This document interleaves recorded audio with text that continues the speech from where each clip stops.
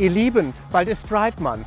Ich bin heute schon unterwegs in Kovalenz und in der Umgebung und plakatiere ein bisschen, damit die Stadt sich darauf instellen kann.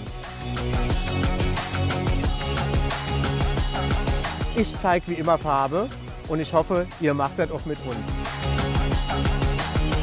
Wenn ihr hier so ein Plakat seht, dann macht ihr ein Selfie, ladet das hoch bei Social Media und markiert Plakat verkauft plakatverkauf.de und mit dem Hashtag Pride Month und Love is Love und vielleicht auch die Dörte Dutt.